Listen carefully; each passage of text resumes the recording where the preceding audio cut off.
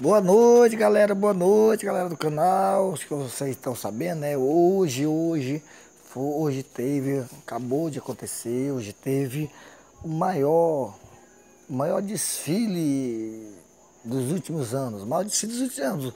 As coisas estavam é, tudo preparada, tudo organizada para acontecer e aconteceu, né?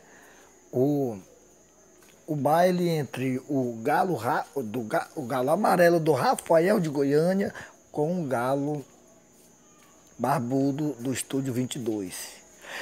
Terminou nesse exato momento. Foi um desfile maravilhoso, onde o galo barbudo mostrou a sua qualidade de espora e tudo, e tudo tentou um pouco por cima, tentou, fez de tudo para ganhar. Mas o Galo.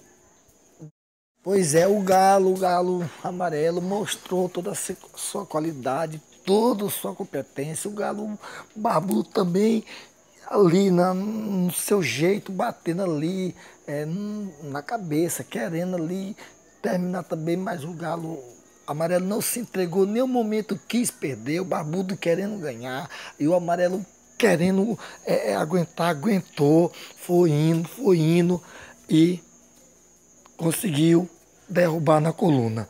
Espetáculo, espetáculo, todo mundo está emocionado, digno, digno, digno. Valeu, galera! Muito bom, muito bom. É, a emoção, a emoção tá, tá. Foi demais, foi demais, sensacional.